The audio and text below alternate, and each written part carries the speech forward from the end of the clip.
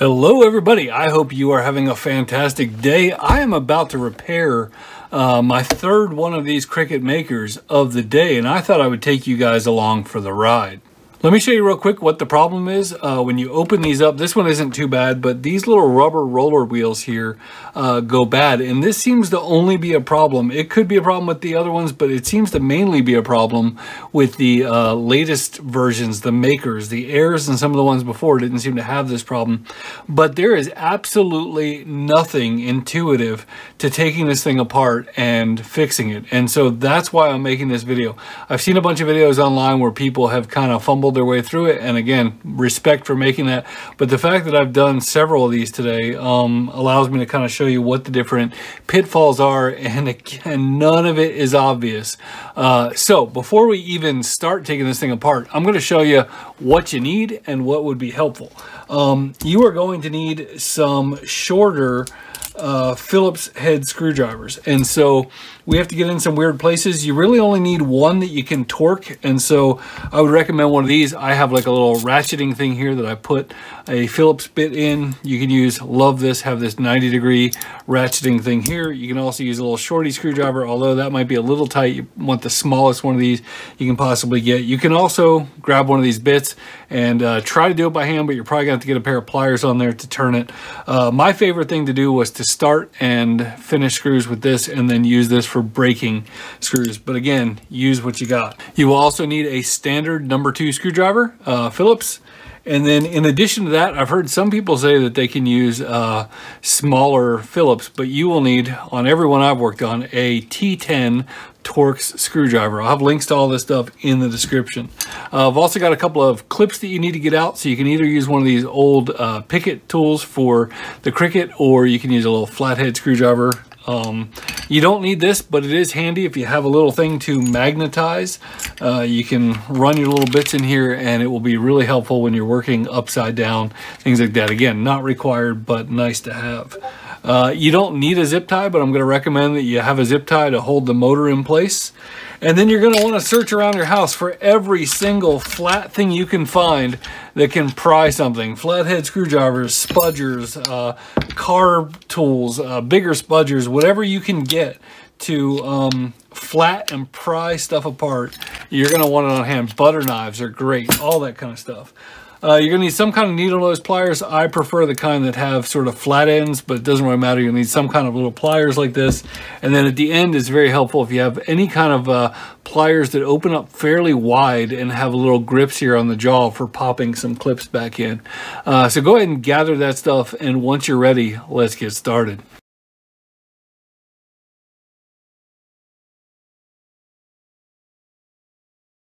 All right, so the first thing you're going to want to do is have some kind of towel down. Uh, these things you're going to be rotating in all sorts of ways, and you want to make sure that you are not scratching the unit up. So I like to have a clean towel down. Uh, you're also going to get a little bit of grease on it, so you want to be careful not to have a towel that you're going to get in trouble for using. All right, the not obvious stuff is going to start off with a bang. Um, we need to get this cover off, and it seems like uh, you'd be able to just kind of pry it up. And if you watch videos, people kind of dig in here like this, and that's not actually what you want to do. There's a couple things you need to realize. Uh, one is there are, I think, four or five posts in here that are attaching this down, and they actually lean back. So when this comes up, um, you know, you're trying to bend it this way. You're actually sort of bending it against uh, the post. The second thing you need to realize is that there is glue on these two sides right here. And um, in my experience, this side has been nearly impossible to get off. Uh, we'll see how that goes. Um, and then next of all, you're not actually lifting the whole thing up. As you can see there, the cover is uh, just a thin little piece there. And so that's the piece you're trying to get off is just that little cover. So you're not trying to dig way down into the machine. You just want that cover off. And so um, what we're going to do, we are going to do kind of the opposite of what I said. We're going to start by digging in the front and just kind of trying to jostle it loose and see what works loose. So the way I like to do it is to put just a very little bit of pressure on this back thing. You can see it's lifting up a little bit there and any kind of pry tool will work. Just all you want to do is just kind of jostle it and make it think about its life's choices. Um, you're not trying to actually open it, but you can say, oh, look, hey, it worked out a little bit there. Great. So now as you got that, now you can start kind of working your way down because you just happen to make that work. Now, in my experience, this tool, like a thinner, real thin spudger thing, has been the best um, for just getting in here and just getting it loose. Again, I'm not prying. All I'm doing at this point is just trying to loosen little bits of adhesion and uh, oh yeah you can see there's actually liquid glue there. Uh, so this one's put together a little bit different than my other ones um, hopefully that's a good thing uh, so we're gonna just kind of work our way down here and just kind of jostle it loose oh that's fantastic so the other ones were absolutely just jam stuck at this side. Um, but this one seems like it's to be a little bit more cooperative. So again, we are just trying to work this up and I'm making this look easier than it was on my other machines. Uh, so we're to kind of just gently pop this up. Oh my gosh, that is so much better. But as you can see here, there's glue under all these. This glue had run down here. Uh, you know what it was? This one didn't really have much glue in the corner. You can see a little bit here and a little bit there, but nowhere near the amount of adhesive as the other one. But the thing that you can see uh, is that those are at an angle. And so if you go prying straight up on it, you're gonna risk breaking these things. And then we're going to grab the T10 uh, screwdriver and we're going to take these four screws off right here. Now, the goal of this is to get this lid off, and it might look like the lid is um, is kind of attached to the back, but that's not what's going on here. This lid is actually sandwiched in a groove, and we're going to show you that in a second, and it's a little bit of a pain. At least it was on the other machines. All right, now I'm not sure how this one's going to go, but in general, the goal is to lift this up. This this top here. And as you can see, it doesn't necessarily want to go. Um, so you kind of need to work it. And it popped a little bit there. So what we're to do is just little bits of prying there, little bits of prying. Um, you, you want to keep this part down. So this honeycomb looking stuff, you want to keep that down and you want to work your way up. So I'm to have one thumb on here, another thumb under here, and we're just trying to persuade it to come up a little bit. There we go. And that's how you do that. All right, the next step is to flip the unit upside down and it's got four feet under here. And you would think that this is all you need to do to take the cover off and you would be wrong for thinking that. So what we're gonna do is just put your standard uh, number two Phillips screw in here and we're gonna take all four of these out. The next thing we're gonna do is we're gonna get some screws out that are in some unfortunate places. And uh, I like to magnetize my screwdriver for this bit, especially for putting it back together. But uh, we're going to get all up in this thing. And uh, the screws are in a place that's going to be kind of difficult to show you. But on the underside of this, there are seven screws. Not six, not eight. There are seven screws. And there are four of them that you're going to be able to see when you look in there. Uh, yeah, you can kind of see it right there. Maybe I'll put up a picture of what it looks like from the underside. Uh, but there are four that you can see, and then there are also three more that are kind of in the middle of them that are way up like in the front here. And so those are a royal pain also. Um, now you can gently slide this to one side. Don't go crazy with it, but gently slide that to one side. And then I found the best thing to do is to flip the unit completely upside down. So what I like to do is take my right angle screwdriver, my handheld little tiny screwdriver, and get in here and what we're going to do is we're just going to break the screws loose until they feel pretty easy to where I could get in there and get the rest of it by hand. And then my favorite thing is honestly just this little bit here. Um, I like to go in here and put it in and just twist it out by hand. And again, there are seven of them. Uh, so it's easier to do kind of half and half. And when you're done and you get all seven of these out of here, then come back and see me. I thought about telling you that there were eight screws in there just to see how long you'd look for them, but I decided that'd be kind of rude. Um, so I'm going to refer to this not as the left side or the right side, but I'm going to refer to this as the power button side because that's what's important. Uh, we're going to lift this top off, but we want to be able to get uh, the cord that's attached on this side off. So I'm going to lift straight up. Um, it is going to be a little stuck, so you want to kind of jiggle it just a little bit and we're gonna come over here and we're just gonna set it down like this. And now in order to get this cable off, the easiest thing to do is probably just to use your fingernail. So you're gonna push just a little bit on one side, then just a little bit on the other side, then back on the first side, back on the second side until it comes out. Then there will be some tape holding it in place. Uh, all the models have this, so you're gonna take that out and stick that back there. And there you go. We have the top detached. Now, before I forget to tell you, there is a lot of goo right here on this side. And so you can touch it, but it's gonna leave a big old mess. Uh, so we're just gonna encourage you to not do that. Now it is time to get down to business. We are going to be on the power button side where we just took that cable off.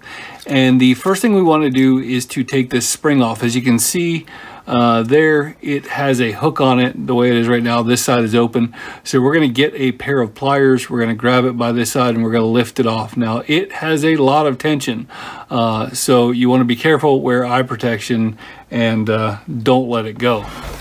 And as I said I like using these flat pliers and we come up right here we grab it and it's got a lot of tension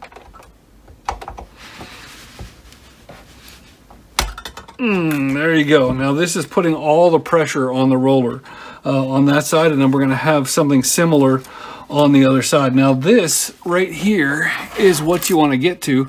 So um, there is a ring here and we're going to be dealing with these rings. Uh, they're a bit of a pain in the butt, but we want to take this ring off. There are a couple different ways you can do that. Um, I'm going to put my screwdriver on here so you can see a little bit better. This thing is kind of, the ring, if you've never seen one of these, goes around two thirds of the way around the shaft and sits in a little groove. And so you can do one of two things. You can either use a flathead screwdriver and push it up that way. You have to be careful not to slip. Um, or if you have an old weeding tool from Cricut, uh, you can actually put that in there and try to pry it up. You don't want to lose it. Um, you need to at least save one out of the two. And so you just go up and you'll be able to get that thing off.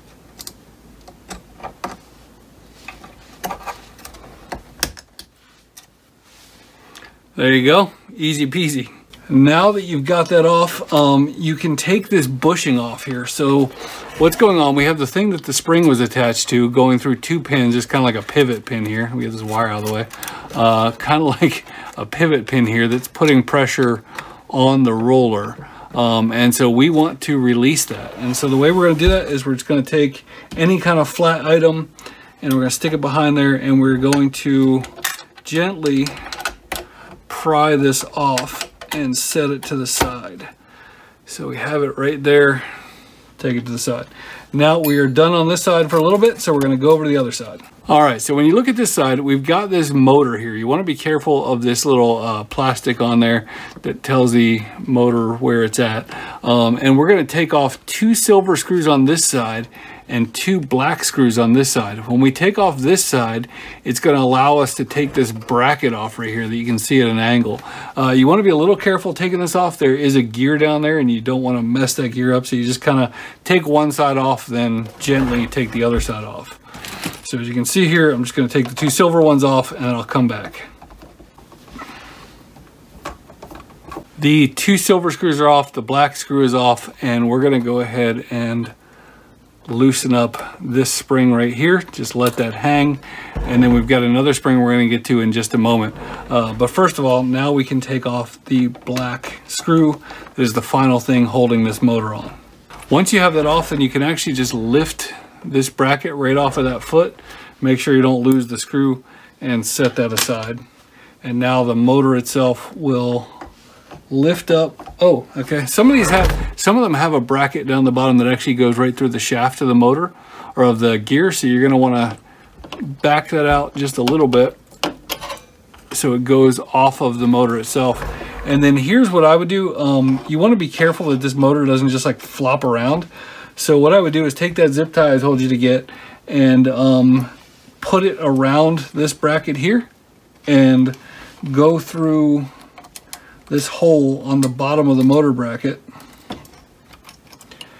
and then zip tie the whole thing together so that it just kind of stays where you put it. All right, now we're gonna take the second spring off. Uh, so we're gonna grab it with those pliers. Again, protect your eyes, be careful, take it off, and that will release the pressure on the roller. Now, one of the many annoying things is that this gear interferes with that um, leg right there. So what most people have decided to do, you'd think you just take a couple screws off. That's not true. You got to take a whole bunch of stuff off.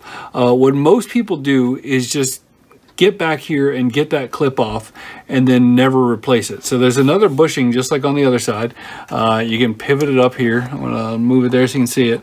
You can pivot it up there and you just need to flip the ring around into an orientation that's good for you and yank that thing off and then I'll show you what to do. You wanna be careful not to break anything, but I've got it hooked there and pull and the clip is off. Now at this point, um, the goal is to get this thing out of here. Now, um, sometimes it's easier than others. Uh, you can actually, if these rollers are in your way, you can actually cut these off. This is what you're replacing. Um, but the goal is to move this to the side. And then I've found that it's easiest to slide this whole carriage all the way over here. And then once you do that, you can clear it and then gently take it out and there you go. Um, now this is not uh, symmetrical. This side, if you notice here, has that little uh, shaved part, and that's what allowed us to slide it to the right. This side does not have that. So the, uh, gear side does not have it. The uh, power button side does have it. So we're gonna go ahead and take these off. If they're stuck on there, uh, most of the time, if you're doing this video, it's probably because they're falling apart and they're like this. Um, these are the nicest ones I've ever replaced, uh, so they might be a little bit more tricky, but I usually just get a pair of cutters or something and just start slicing them off. You don't really want to cut the rod, but you just come in here and just, just cut them uh, like that, and you make enough grooves in them and they'll, they'll come right off. All right, so the issue with the rollers is that as they deteriorate, they want to slide toward the middle, and as they do, they give you all kinds of problems. So there's two different ways that uh, the aftermarket has tried to fix that. The one is uh, with some ones that are really tight that you wind up soaking in hot water and uh, hope that you can get it on there. And then there's another one where they actually put a clip similar to the ones that we just took off. So we're going to use uh, one of the kinds that go on a little bit easier, but um, have a clip to hold them in place. And that seems to me like the, the better way to go on something like this. So what you're going to do is you're going to slide them on there, and they're relatively easy to slide on.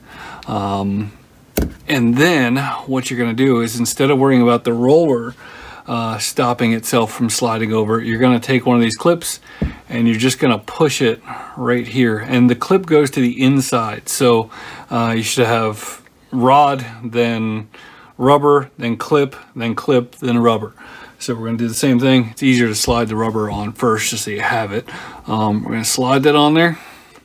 And now as you can see, there's it's in the little groove. We're going to slide it as far away from the groove as possible. We're going to take this little clip and we are going to pop it on.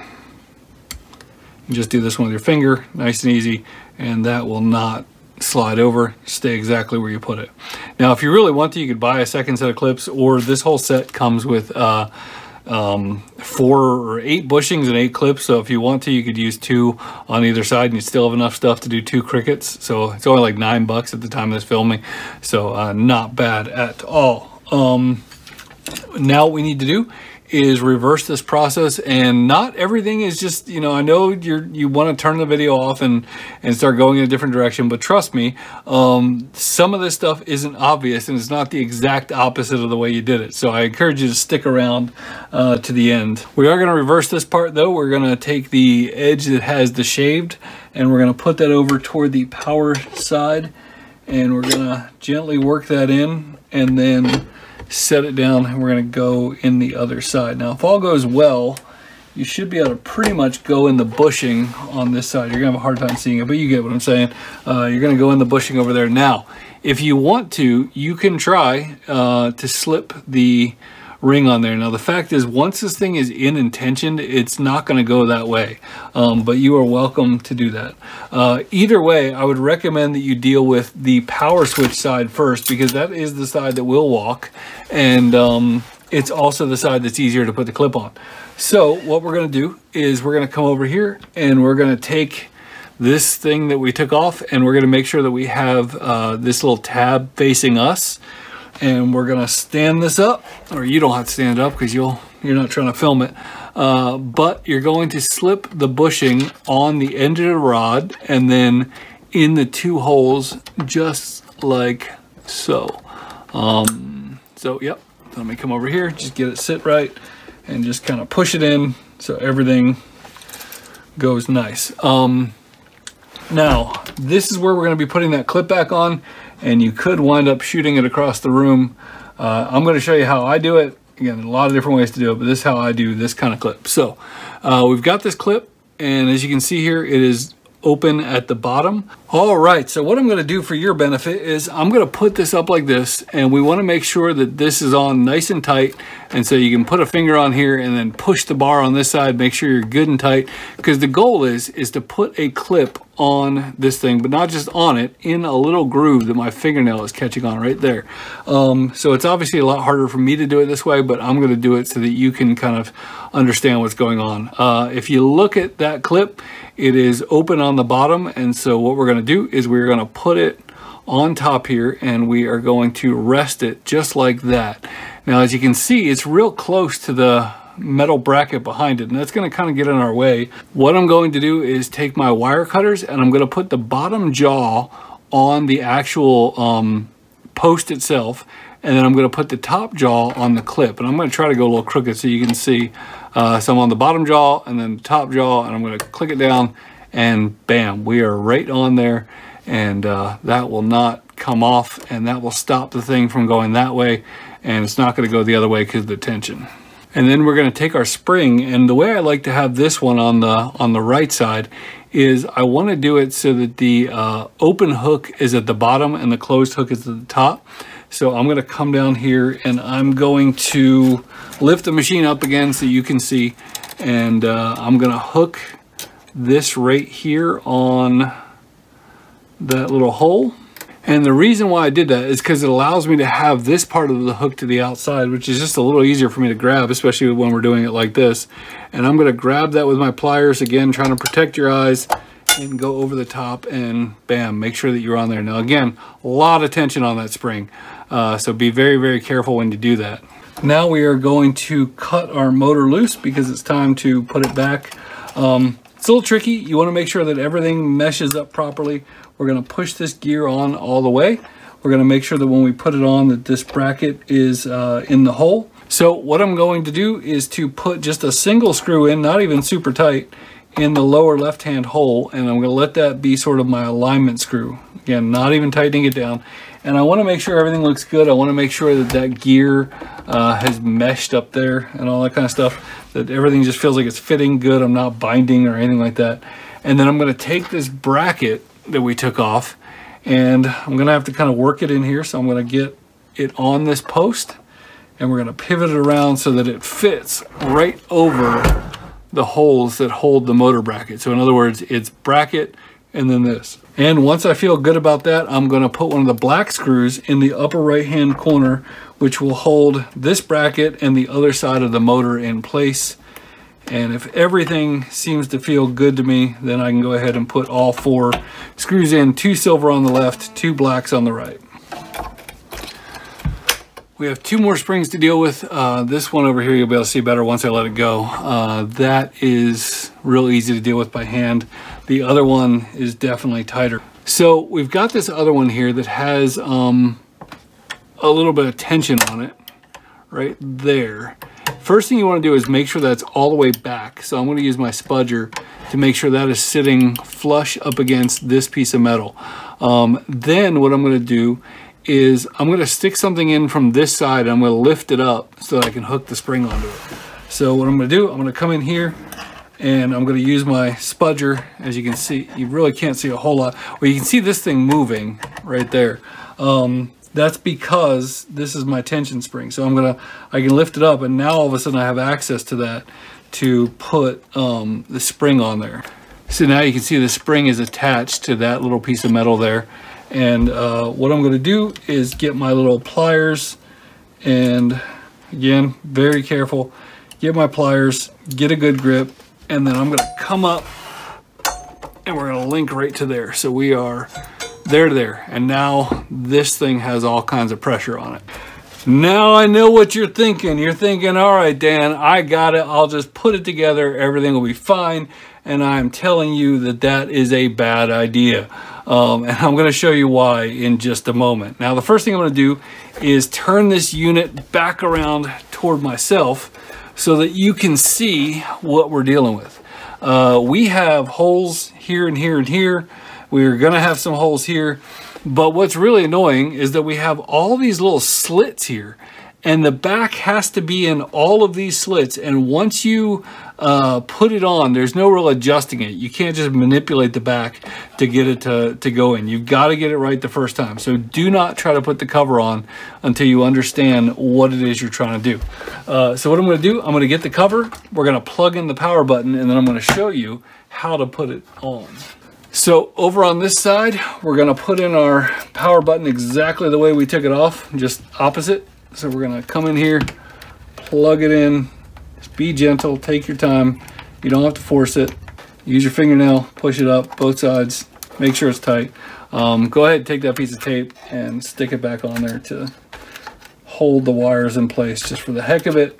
All right, now when it comes on, um, what's got to happen is nothing about it is going to feel natural. Uh, and so you're trying to force all of these things here in their counterparts. And I'm trying to see if there's a good way. I'll show you another one. I'll, I'll pop another one up on the screen that I've already taken a shot of. And the first thing is that this back is ribbed for someone's pleasure, but it's not mine. Um, and there's these little hooks on the back here. And if you don't put this on exactly right the first time, then the unit will not fit together right. The uh, back will be bulging or the top will be bulging. And then you also have all these little stems up here that those screws went into. So uh, we are gonna put the power switch on and then we have to be pretty dang careful putting it back together. Um, and so what you wanna do is try to line this up so that you are in those grooves because again once you get it down there's no repositioning it um, you've got to take it all back off and start again. So you want to make sure that you absolutely have it in because it will look like crap if you don't. Um, so this one went fairly easily so far. Um, but I'm telling you, it can get real complicated. So you want to just gently work everything in here, make sure everything kind of goes in its own little home. Uh, yeah, we're not quite down there yet, so we're not home yet. Um, kind of wiggle If you have to, like I'm going to lift it up a little bit because you want to make sure that every single one of these back uh, things, these cleats, is in exactly right. Otherwise your machine will be all kinds of weird bulged in the back and uh, it'll look like you took it apart and we don't want that.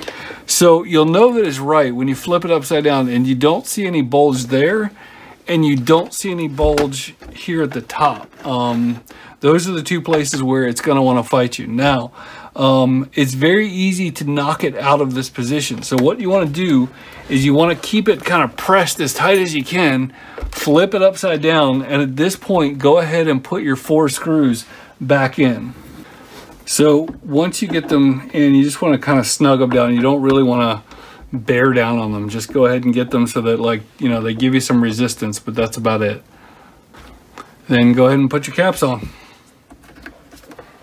Now we're back to those fun upside down screws. Uh, so we're gonna open the thing back up and really there's nothing magical I can tell you here uh, other than the fact that when I'm putting these screws in um, I definitely start them either with my finger or with this again if you can be magnetized it helps but you basically start the screws like this. Sometimes you'll be able to get them in really tight with just your finger. Uh, other times you'll want that little angle thing. Like see that one I got a good grip on, so I feel good about that. Uh, go ahead and do all seven and then meet me back here. Well, that was fun, wasn't it? Uh, so now the next thing we want to do is put this back in. Uh, this is pretty straightforward. You're going to drop it in, make sure all the screws are aligned, and then go ahead and grab your T10 uh, Torx screwdriver and put the four screws in, then come on back. So as I pointed out at the beginning of the video, uh, these things are at a very weird angle, so you want to kind of start from the back and work your way forward and putting them in. Don't force it. Take your time. Get everything to line up. If you need to tilt this back just a little bit, I mean, don't push real hard, but if you need to tilt it back a little bit, do that. And it's back to the front, back to the front, and there you go. Last but not least, you know and I know that you got fingerprints all over this thing in that process. So go ahead and do the right thing. Uh, get some isopropyl alcohol, get a rag, and clean your mess up. Um, you know, whoever you did this for, even if it's yourself, uh, go in there, clean it up. This thing, they get a lot of dirt down here. You don't really need to clean the rollers themselves with uh, alcohol, but you can still come in here and clean that up. Just make it look a little prettier and uh, so that when you give it back to whoever you did this for, uh, it looks good. So I'll scrub that a little bit better. But hey, I really appreciate you watching. I hope you found this helpful. Um, I've got links to all the things in the description, the tools, the parts, uh, all my recommended stuff. Also, if you have somebody who's interested in Cricut, um, I've got a few other things. My wife absolutely loves Cricut, so I've got a few other things you may want to consider picking up that she absolutely loves that are Kim approved. Um, so yeah, anyway. Thanks for watching and have a great day.